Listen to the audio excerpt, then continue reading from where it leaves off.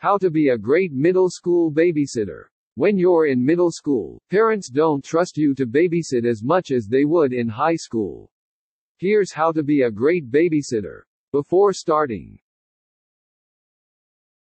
take a babysitting class at Red Cross or a local hospital. Don't take a class from a friend or a childcare center. Though they may babysit a lot, they can't certify you. Make and put up posters. Make them eye-popping and make sure you include all information. Make a separate babysitting email for clients to contact you at, and check it frequently. Don't use your cell phone number or personal email.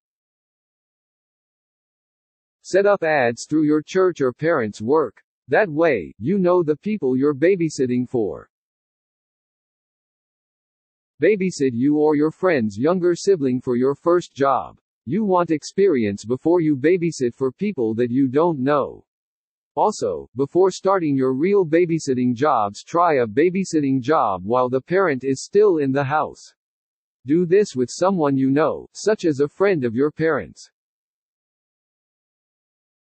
Set up a meeting with the parents. This will give you a chance to meet the parents, get a tour of the house, and get the kids' medical emergency form filled out see below, and put it in your babysitting notebook, if you have one.